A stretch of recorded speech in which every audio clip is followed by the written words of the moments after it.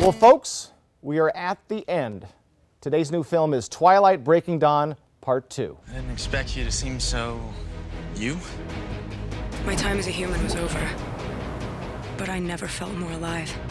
In this one, Bella has become a vampire. Her and her husband Edward and their new child are pretty happy for a while until an evil coven from Italy comes into town looking to kill their daughter, so they must fight. Here's a look at the film.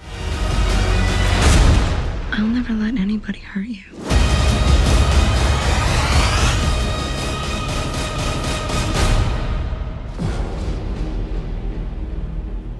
You know, I've always found Bella to be one of the most annoying characters in movie history, but at least in this one, being a vampire, she's happy most of the time.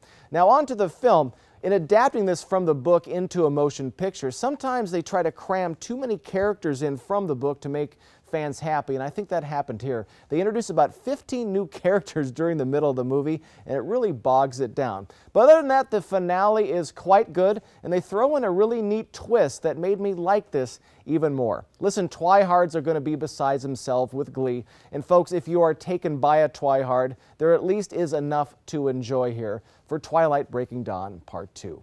Hope you have a great weekend. I'm Jason Valentine with your view on film.